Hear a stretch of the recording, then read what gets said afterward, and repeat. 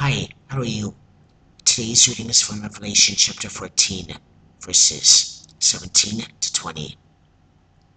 Then another angel came out of the temple which is in heaven, he also having a sharp sickle. And another angel came out from the altar, who had power over fire. And he cried with a loud cry to him who had the sharp sickle, saying, Thrust in your sharp sickle and gather the clusters of the vine of the earth, for grapes are fully ripe.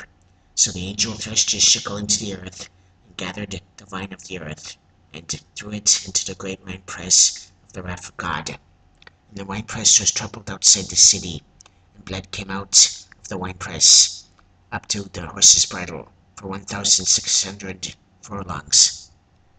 And Jesus said, For God so loved the world that he gave his only begotten Son, that whosoever believes in him should not perish, but have eternal life. Jesus also said, I am the way, and the truth, and the life. No one comes to the Father but by me.